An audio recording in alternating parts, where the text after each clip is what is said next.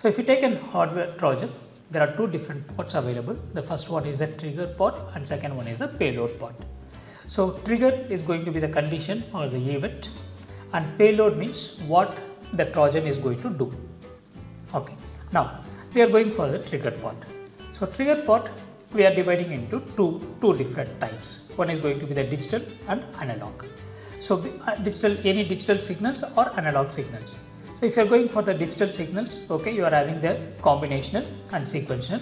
So you might have studied about this in the computer organizations. What is a combinational, what is sequential and all. So in sequential, okay, synchronous, asynchronous, hybrid and rare sequences. And if you are going for the combinational, we are having only the rare value. Then moving on to the analog. In analog, you are having some sensors on chip sensors and activity.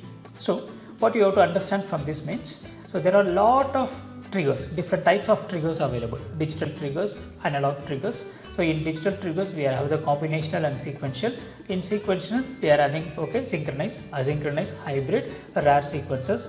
In combinational, we are having the rare value. So whereas analog signals, if you take so on chip sensors and activities. So these are all the triggers, okay, the events or the conditions, okay. So based on this only your payload will be activated. That means the Trojans, hardware Trojan payload will be activated. Now payload. So payload it is having again digital, analog and others.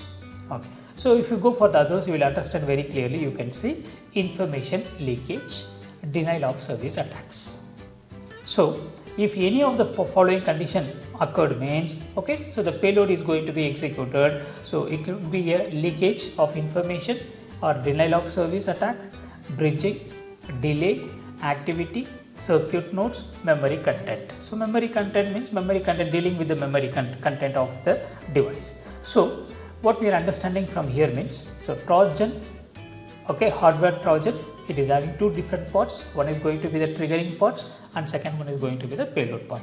So based a particular event occurred if a particular triggered if particular event is triggered means so based on that the payload will be executed. So the payload is going to do only the malicious activity and it is going to compromise the CIA confidentiality integrity and availability will be compromised without the user's knowledge. Okay that is a very important one.